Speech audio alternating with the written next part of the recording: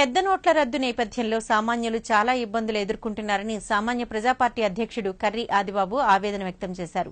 ఈ పరిస్థితి నుంచి వారికి విముక్తి కలిగించేందుకు కేంద్ర రాష్ట ప్రభుత్వాలు తక్షణ ఉపశమన చర్యలు చేపట్టాలని డిమాండ్ చేశారు. అత్యవసర సేవలకు పాత నోట్లు తీసుకునే గడువును పెంచుతూ ఆదేశాలు జారీ చేయాలని కోరారు. పౌర సరఫరాల దుకాణాల ద్వారా నిత్యావసర సరుకులను ఉచితంగా పంపిణీ చేయాలని రాష్ట ప్రభుత్వాన్ని డిమాండ్ చేశారు.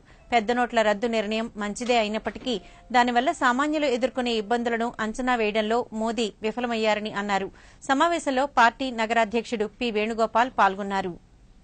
భారతదేశ ప్రధానమంత్రి మోదీ గారు ఐదు వందల రూపాయల నోట్లు వెయ్యి రూపాయల నోట్లు రద్దు చేయాలి. అవినీతిని అంతమందించాలన్న ఉద్దేశంతో చేసిన కార్యక్రమాన్ని సామాన్య ప్రజా పార్టీ స్వాగతిస్తూనే ఉన్నాం. కానీ ఈరోజు చూస్తే మనం సుమారుగా నూట అరవై ఐదు కోట్ల జనాభా కలిగిన భారతదేశంలో వంద కోట్ల మంది జనం ఈరోజు ఈ చిల్లర లేక ఐదు వందల రూపాయలు వెయ్యి రూపాయల నోట్లు రద్దు జరిగినందువల్ల అనేక ఇబ్బందులు పడతా ఉన్నారు.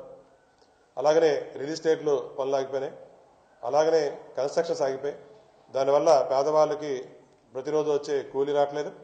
అలాగే చిల్లర కూడా లేకపోవడం వల్ల నిత్యావసర వస్తువులు కూడా కొనుక్కోలే పరిస్థితిలో ఉన్నారు కాబట్టి మన ఆంధ్రప్రదేశ్ ముఖ్యమంత్రి చంద్రబాబు నాయుడు గారిని పౌర సరఫరా దుకాణాల ద్వారా ఏదైతే పేద ప్రజలకి సామాన్య ప్రజలకి రేషన్ కార్డు ద్వారా రేషన్ ఇస్తా ఉన్నారో ఆ రేషన్ నెలలో ఫ్రీగా ఇవ్వాలని సామాన్య ప్రజాపార్టీ డిమాండ్ చేస్తా ఉంది.